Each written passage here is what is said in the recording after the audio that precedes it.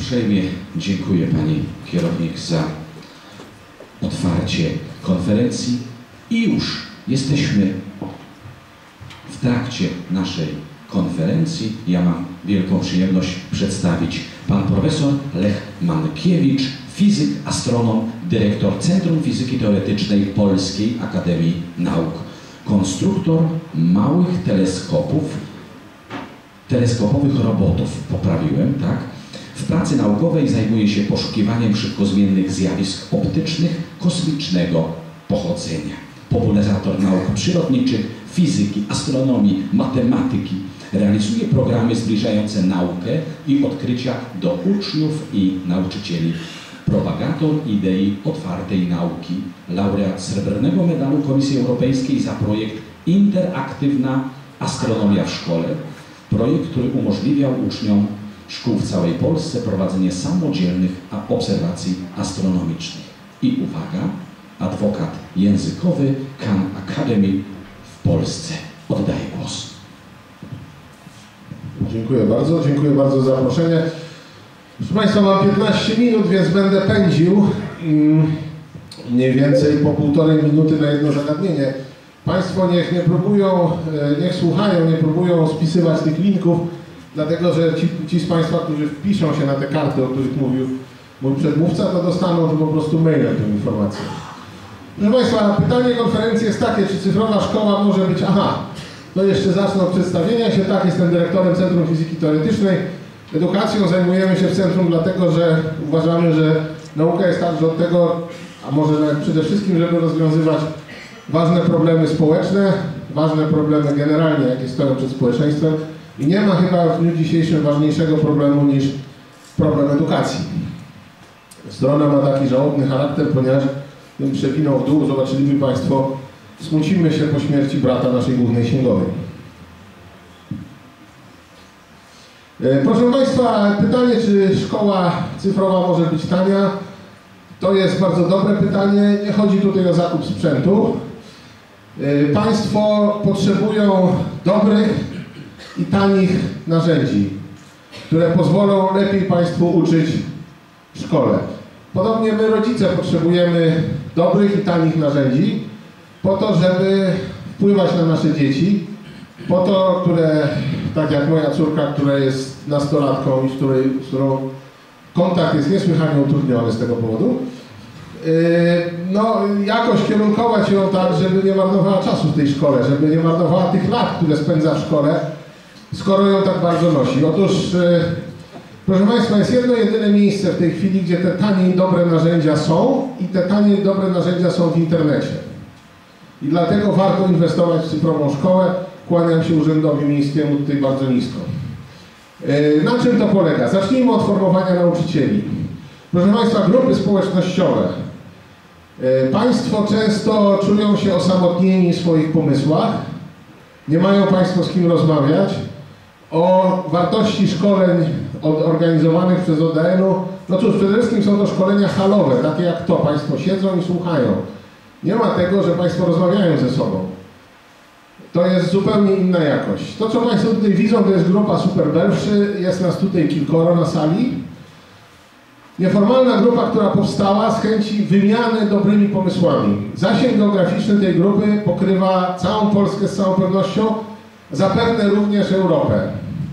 Często nie znamy się osobiście. Nie wszyscy mówią po angielsku. To jest niesłychanie istotne, dlatego że bardzo dużo tych dobrych pomysłów formułowanych jest w języku angielskim i tam wrzucanych do internetu i jesteśmy w naturalny sposób od tego odcięci. Nie zrobię testu, bo nie mam czasu takiego, jaki zawsze robię. Proszę zamknąć oczy i podnieść rękę ci, którzy mówią po angielsku. Wynik jest zawsze taki sam. Polscy nauczyciele prawie nie mówią po angielsku i to strasznie przeszkadza nowoczesnej edukacji w Polsce. Ale zawsze jest ktoś, kto mówi po angielsku, kto pojechał na Etwini, kto się czegoś dowiedział. Panowie dyrektorzy, zachęcajcie tych ludzi do tego, żeby tworzyli blogi, żeby łączyć ich między szkołami, żeby tworzyli grupy na Facebooku, żeby dzielili się swoim doświadczeniem. Jak to działa? To jest grupa Superbelwszy, jest też wersja Superbelwszy Mini. Nie pokażę jej tutaj, ale można ją znaleźć. Teraz niech Państwo sobie wyobrażają, to jest piktografia. Projekt Wydziału Pedagogicznego Uniwersytetu Warszawskiego i tak zwanego bydgoskiego Bombla. Uczenie matematyki e, w, ramach edukacji wczesnoszkolnej na e, rysuneczkach. I teraz to tak działa. To jest blok e, naszych wczesno, wczesnoszkolnych superbelferek.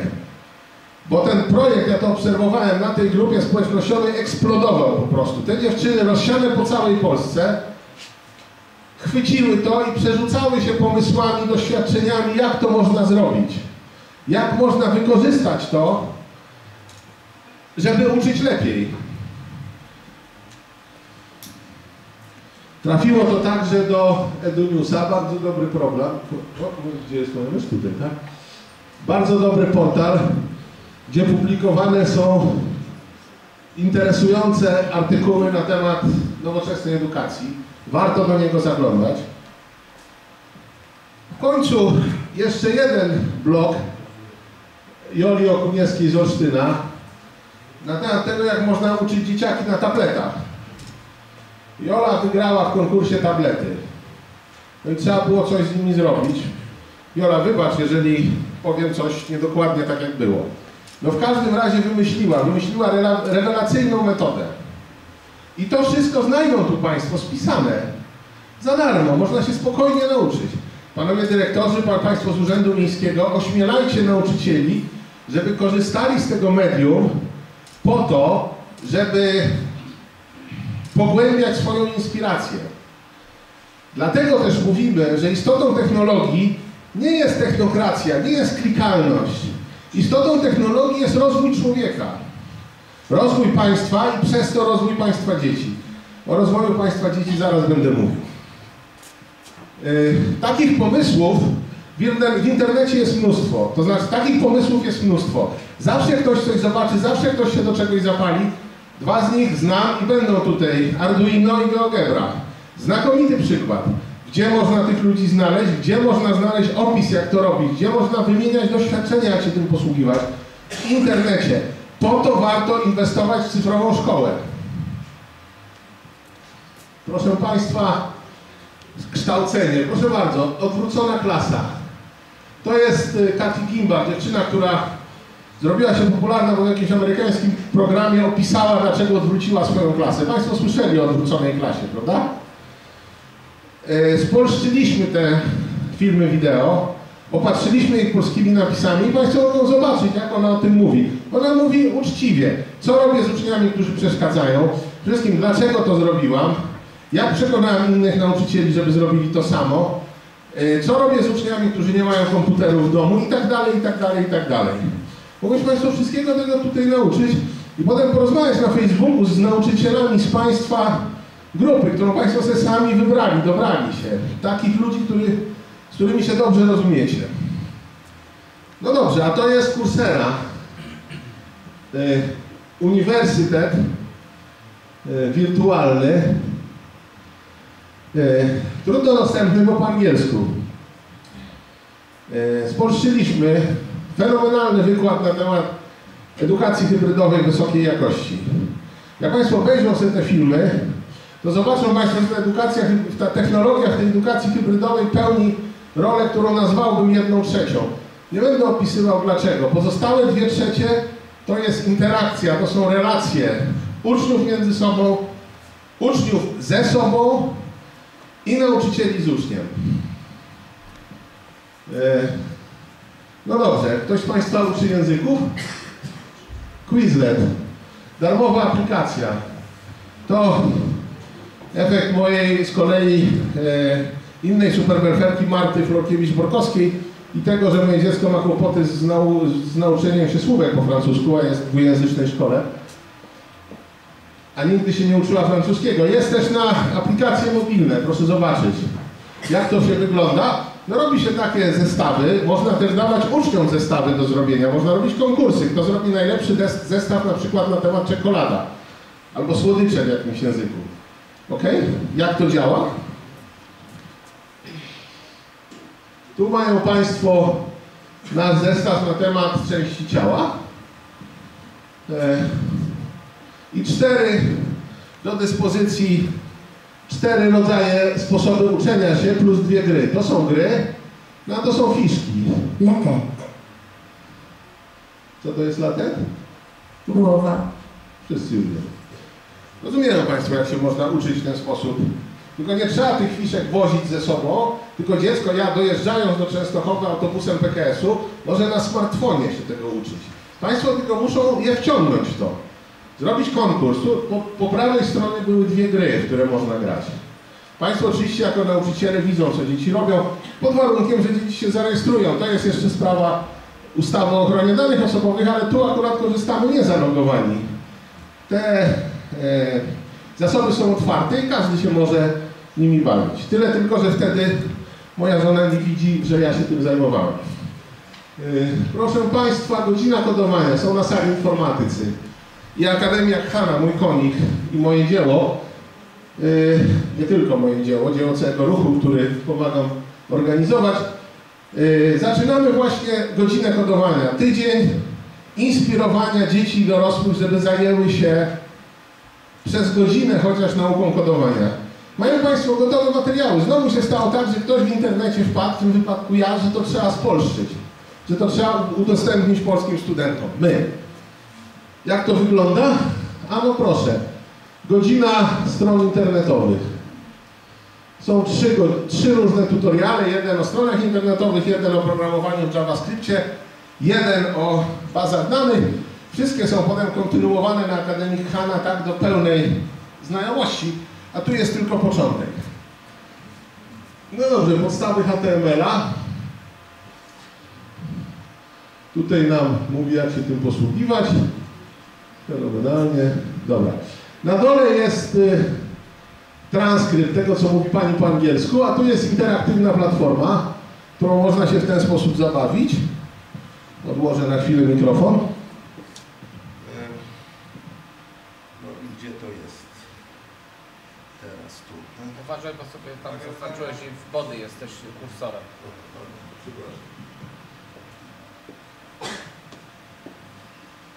Nie widzę, bo mam oczy, znaczy sztuczne oczy do patrzenia dalej, a sztuczne oczy do... O, bardzo dobrze. Co napiszemy? Ale...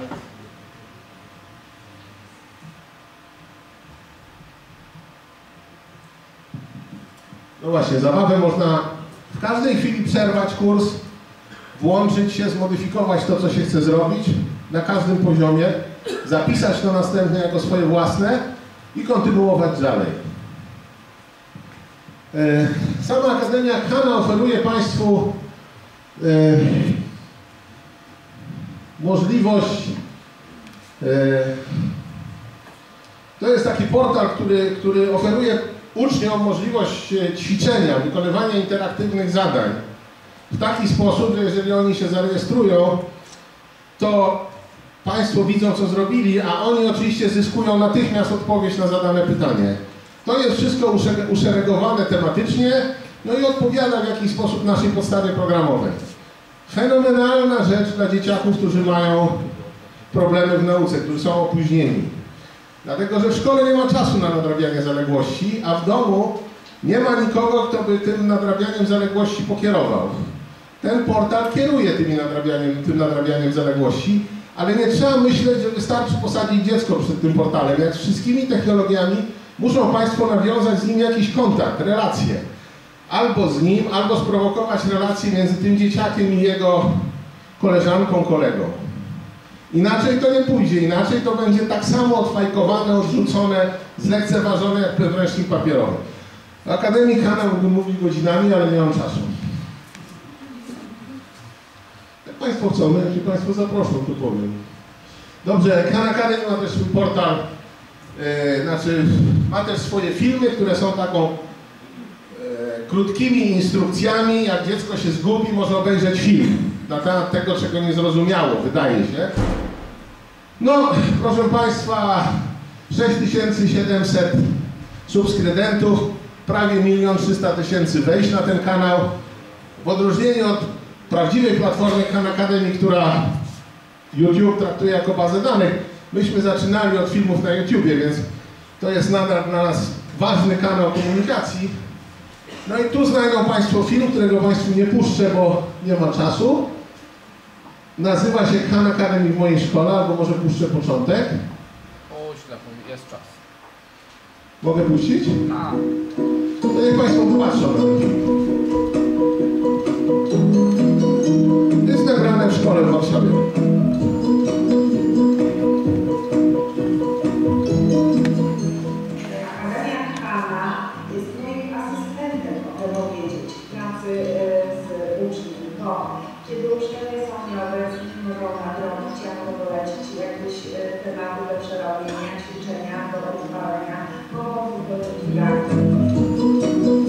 Julka, ta dziewczyna po lewej stronie, niech Państwo ją zapamiętają.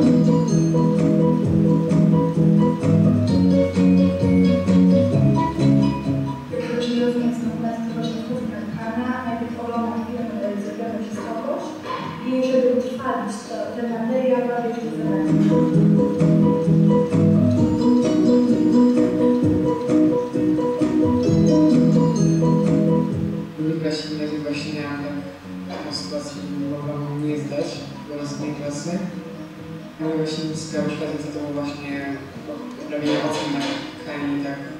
Technologie nie są dla uczniów No, dobrych. mną, Technologie są dla wszystkich uczniów, a przede wszystkim dla tych, którzy mają kłopoty. Niech Państwo nikomu nie dadzą sobie wytłumaczyć, że technologie są tylko dla uczniów najlepszych. Są takie pomysły w polskiej edukacji, żeby otworzyć technologię tylko dla najlepszych uczniów. Odwrotnie trzeba postąpić, dokładnie odwrotnie.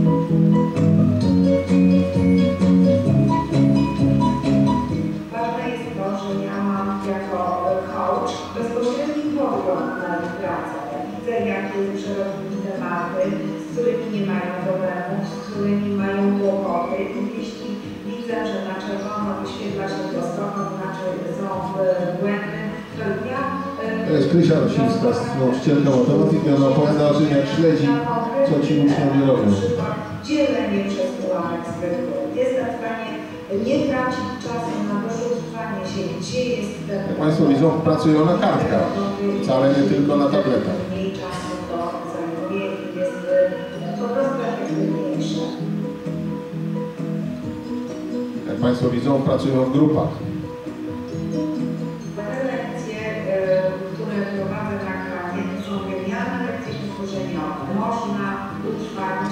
Materiał, poszerzyć materiał i e, uczniowie nabierają większej wprawy w tych ćwiczeniach.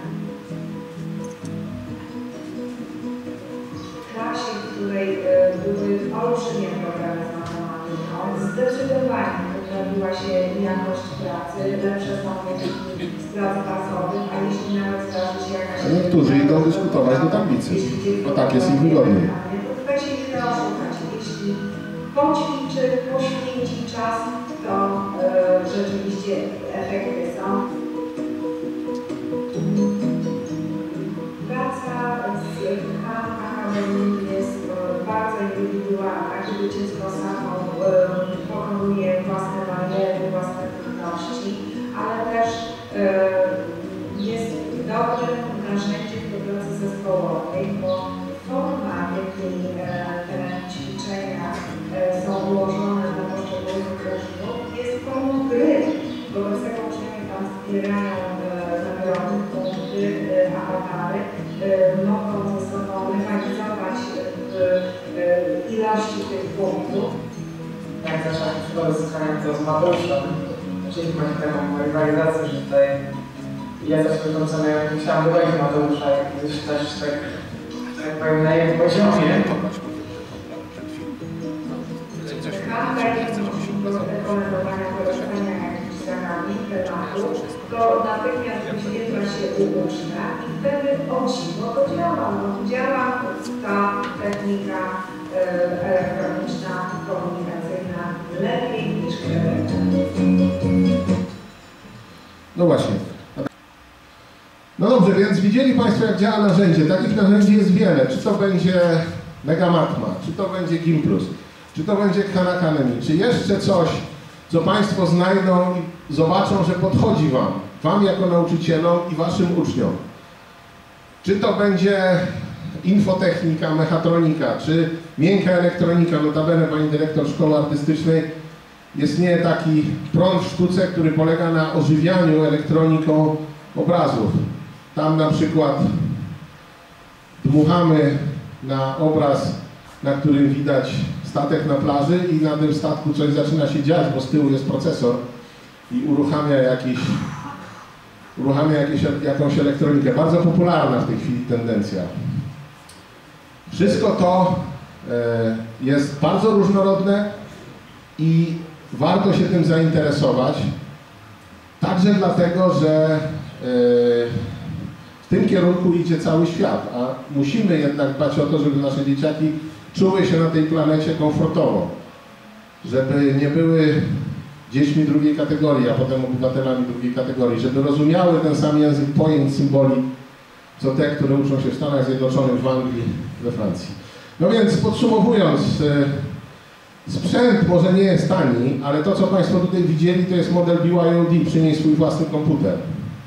Szkoła zapewniła tylko router Wi-Fi. No nie przesadzajmy, router naprawdę można kupić. Za tą niewielką w sumie inwestycję dostają Państwo naprawdę dostęp do narzędzi, które są bardzo dobre i które są za darmo, bo, albo prawie za darmo, bo tylko o takich mówimy. Dlatego cyfrowa szkoła jest tańsza niż szkoła ta, którą znamy do tej pory. Dziękuję bardzo.